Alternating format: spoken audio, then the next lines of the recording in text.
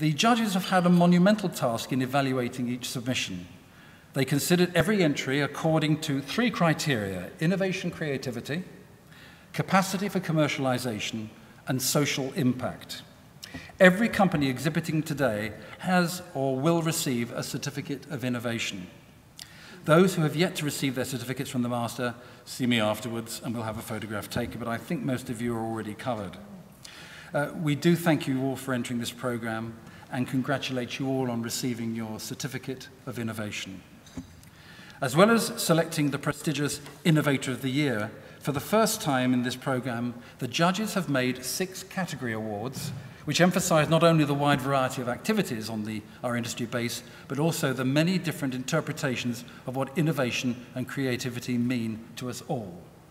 These categories are manufacturing, digital technology application, creative communication, retail product design, social development, and business development.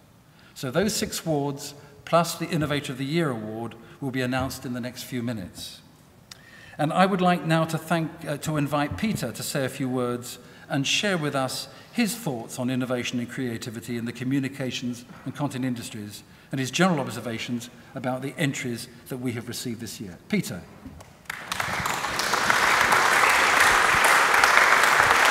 Thank you, Tony. I'll be very brief.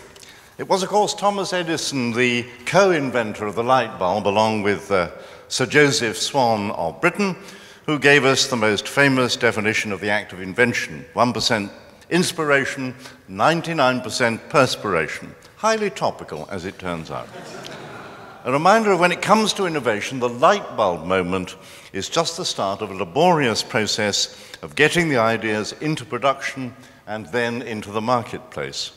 And there's another truth to be got from the story of the light bulb. Both the American and the British inventor were actually using principles that had been around for decades. Swan's bulb used a paper filament in an imperfectly created vacuum that lasted about 13 and a half hours. Edison's filament was made from bamboo. His vacuum was uh, more long lasting.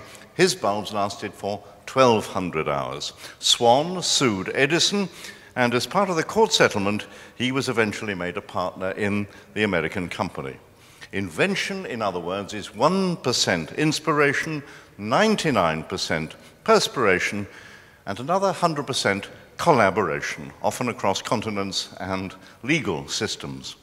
That, anyway, is one of the themes of the ideas we, the jury, encountered at this year's Innovation Awards, without, I hope, the litigation. The other light bulb, light bulb element is patentability, but that's quite another story. Back to you, Tony. Well, we finally come to the awards, the presentation of the awards, and I will announce the awards in turn, give an explanation of the judges' thinking about that award winning entry, and then invite a representative from that company to the stage to receive their award and be interviewed for a couple of minutes by Peter Day.